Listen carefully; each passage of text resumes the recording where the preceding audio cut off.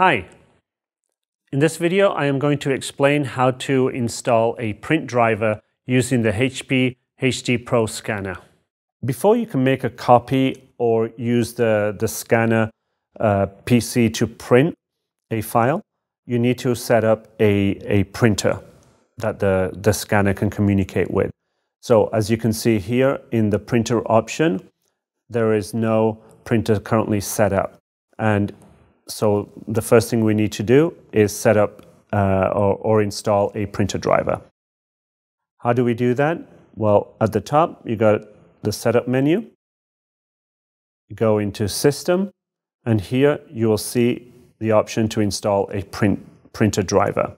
Select that, and it will uh, launch a, a driver uh, feature. You accept the, the uh, instructions, and now the scanner will go out uh, onto the local network and look for available uh, HP DesignJet printers or HP PageWide XL printers. Once the, the, the scan on the network has been completed, it will show you the different uh, printers available on the network. So we're going to choose the HP PageWide XL 8000.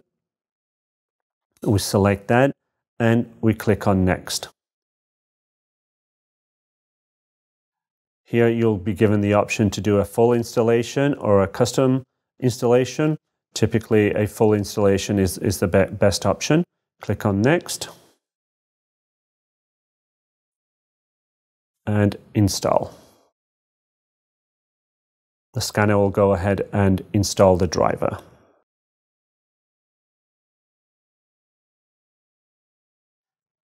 Now the driver installation is completed. You can click on Finish and press OK. And now you have the printer displayed there and now you can print to it and copy to it.